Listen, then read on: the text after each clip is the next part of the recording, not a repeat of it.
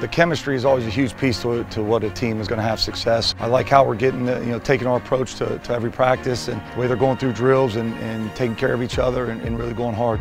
That's what we preach every day, relentless effort, positive juice, and no excuses. So we get after it. My senior class, we've been playing together for a really, really long time. So, I mean, we understand what it takes. Seen last year, started one and three, but came back. It couldn't have been a better life lesson for us and for these guys and just trust the process, keep working harder, be a part of the solution. You know, we've experienced that and now it's just, it's time to get going.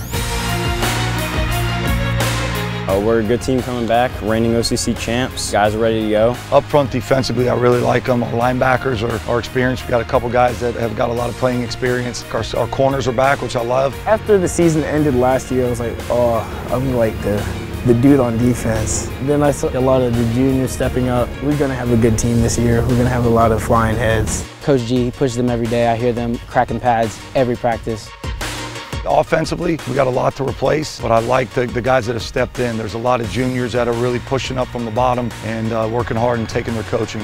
We got to finish every play, finish every drive, finish every game, and then that'll take care of itself in the season. We let our speed take over. We'll get the job done.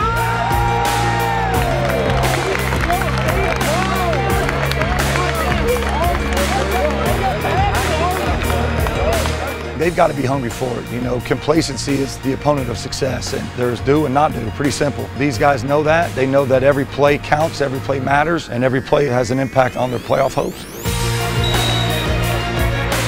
They're going to be seeing dudes flying around, just loving the sport. Electrifying team, you know, always jumping around, always high, always just ready to go we're going to get after them every play. So no matter what they try to change, we're always going to defeat their blocks. We'll get through it, and we'll figure out a way to make plays.